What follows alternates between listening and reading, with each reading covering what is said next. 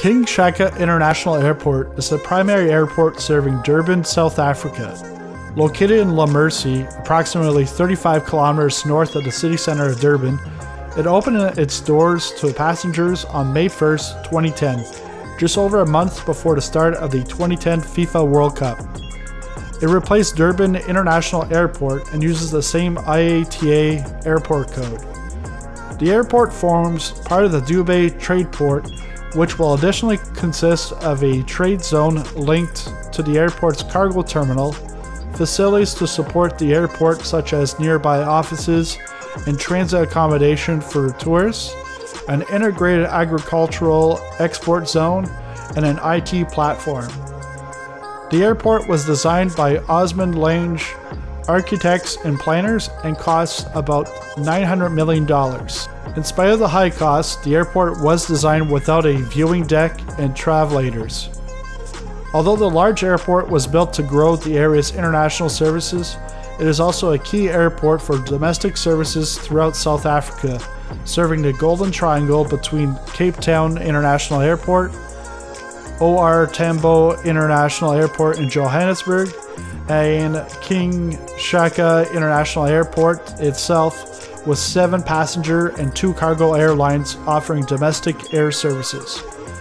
KSIA was the ninth busiest airport in Africa according to 2010 statistics, despite not being open for the first four months.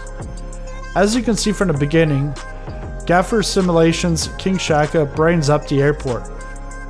It is modeled quite nicely and includes the replicas of the cargo buildings. I really like the textures and signage used on the apron and ramps.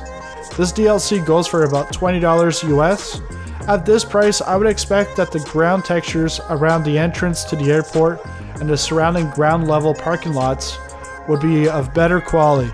It seems that they are the default textures and look very grainy. I've tested this before and after the latest Microsoft patch and there were no changes.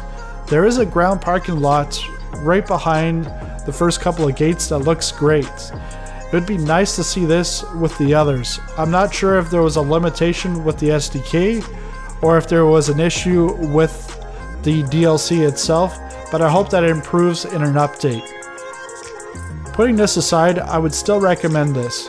I gave it a 78% due to some of the ground textures.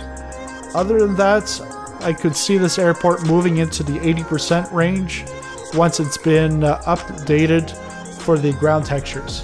There are no interior views, which is fine. This is Flight Simulator, not a walking nor driving simulator. The airport also looks great at nighttime. Again, I would recommend Gaffer Simulations King Shaka Airport and also download their free Johannesburg Landmarks DLC from their website. It's only a short flight away. You can purchase Gaffer Simulations King Shaka Airport at the Sim Market. All links are in the description below. Thanks for watching, and we'll see you in our next video.